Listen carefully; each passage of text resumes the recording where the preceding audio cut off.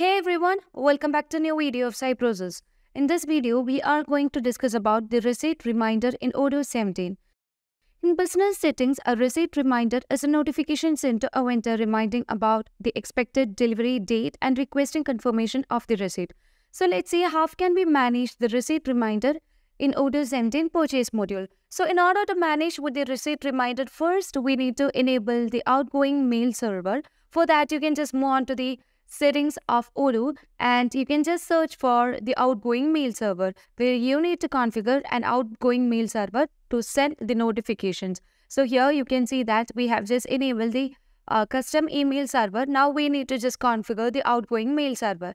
And here I have already set an outgoing mail server uh, with its name and you can set the priority as one and set the authenticate with as username.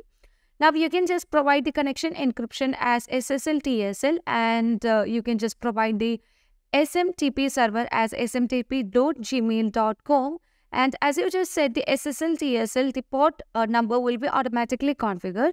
And you can set the username uh, over here so that the mail will be sending um, from this. And you can also provide the password over here. So in order to get this password you can just move on to the uh, mail of uh, the uh, username that you have given. And if you have any doubt regarding how to set the outgoing mail server, please do check the video because we have already published a video on how to set outgoing mail server.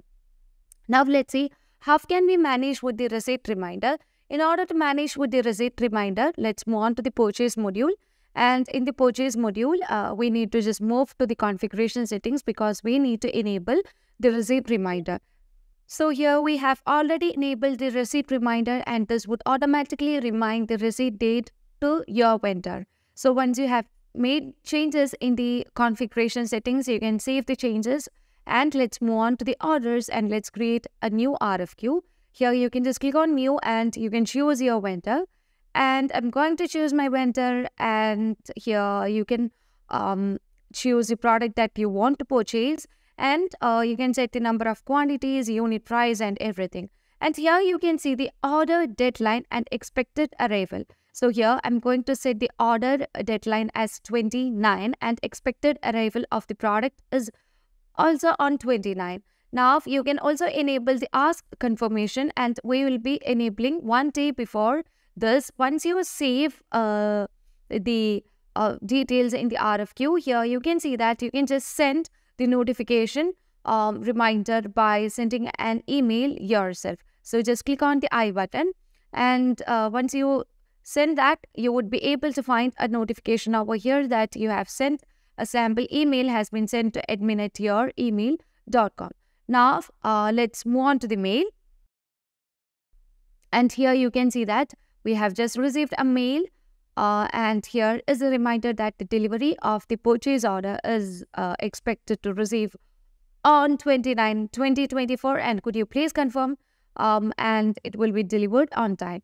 So that is the confirmation mail. And you can also find an attachment over here that shows all the uh, details over here like uh, the address the rfq with its reference number uh, the purchase representative and um, the description uh, such as the uh, the product details, the taxes, and all other details will be shown over here. Now let's move on to the um, Odoo platform itself and let's confirm the order. And yeah, now we can just uh, receive the item. So you can just click on validate and you can just uh, check the quality of the product. And finally, you can just receive the item into the stock. So this is how we manage with the receipt reminder in Odoo 17. So I hope this concept is clear for you and uh, this clarifies how to set the receipt reminder in Odoo 17. So if you want any Odoo customization or any tutorials regarding Odoo, feel free to contact Cybrosys. So thank you for watching the video.